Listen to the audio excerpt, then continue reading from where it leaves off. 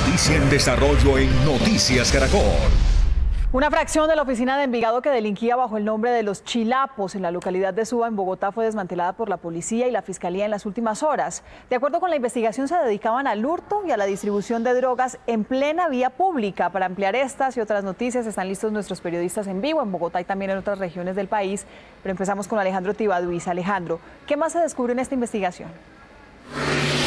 Pues eh, según los investigadores, la oficina de Envigado lo que seguramente pretendía era montar una especie de sucursal en el nororiente de Bogotá para controlar las llamadas fronteras invisibles en la localidad de Suba y así apropiarse de todo el control del microtráfico allí en esta localidad en el nororiente de Bogotá. Lo que más llamó la atención de la Fiscalía y de la Policía es que usaban mujeres generalmente con bebés recién nacidos para cometer sus hechos delictivos. Veamos.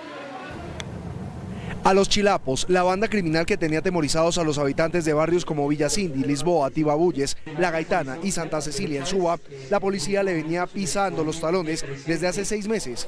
Sus integrantes llegaron a Bogotá hace tres años, provenientes en su mayoría de Bello, en Antioquia, con el objetivo de constituir una sucursal de la llamada Oficina de Envigado. También se enfrentaban a diario con otras organizaciones por el control del territorio.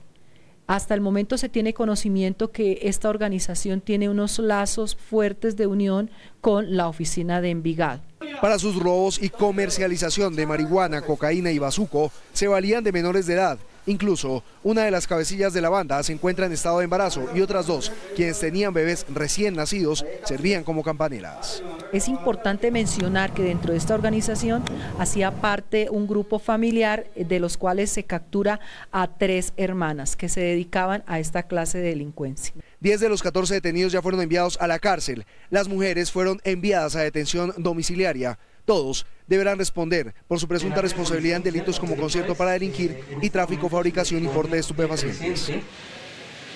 La mayoría entonces fueron enviados a las cárceles modelo y distrital y las otras cuatro personas entre las que se encuentran las mujeres fueron cobijadas finalmente con detención domiciliaria.